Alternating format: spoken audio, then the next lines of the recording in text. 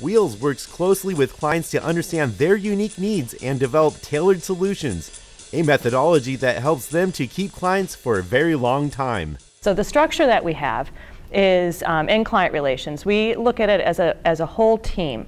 There are um, our day-to-day people in, in our client services organization that we call account executives. They are there to help support our fleet office on a day-to-day basis.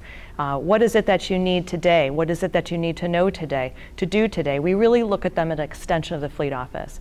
Then in my organization and client relations, we have what's tomorrow's focus. That's our account management group. They are focused on what does that client need for tomorrow? What's the strategy? What's the vision? What's going on in our industry? What's going on in their industry that is going to impact their fleet today? And what are we doing to look down the road and making sure that we are going to get them there three, five years from now? Fleet can move fast when it comes to technology, but fleet can move slow if you have some long-term goals on either cost savings or on um, miles per gallon savings that you need to turn your whole fleet over. You need to be thinking three, five years down, down the road. That's our consulting group that we've built in order to make sure that we can give those results to our clients. We also have a section in client relations, our client relations managers.